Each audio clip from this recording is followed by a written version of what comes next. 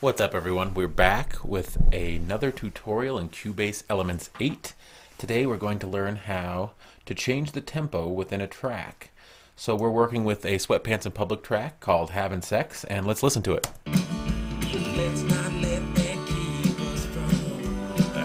Sex. I don't think you're all that pretty, but I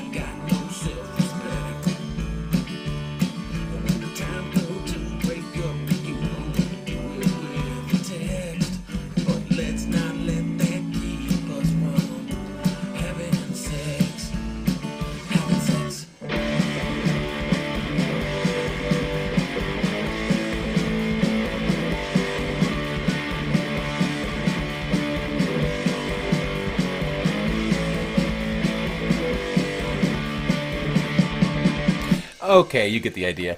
So uh, if you didn't notice there,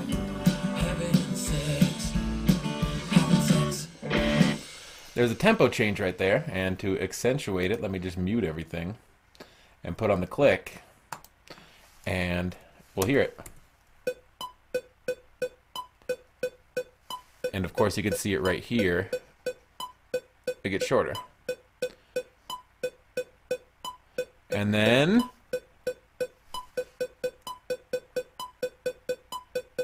Boom. So if you're wondering how to do that, uh, it's actually not that complicated. It's with something called a tempo track.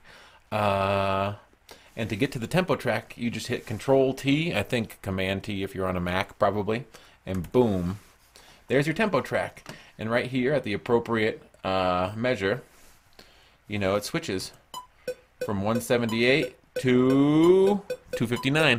Boom, it's done. And you do that by moving the slider you know, up and down to where you want it. So I need to make sure it's back at 259 or everything will go out of sync. Uh, and it's as easy as that. The only other thing you need to be aware of is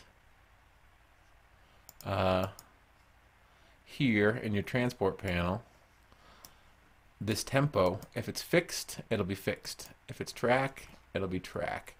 Uh, so make sure that it says tempo track, then you can hit Control T, pull up your tempo track, and you'll see that you have the option to change tempos. So this was a brief tutorial, but it may help you if you want to change. If you're in a metal band and you want to do a few bars in, I don't know, like a math metal band, you want to do a few bars in like 5-8 and then switch to 17-16 and then go to 7-4 and then switch back to 31-32 as your time signature. You can change time signatures every time you change the tempo. Um, so that could be helpful if you're doing some music that nobody wants to listen to, uh, like math metal. So I hope you found this tutorial helpful. And this song is uh, called Having Sex. It's by Sweatpants in Public off of their album Comfy, which will be released June 1st.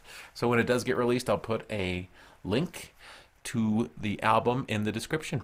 All right, I hope you enjoyed this. Have a great day. Bye.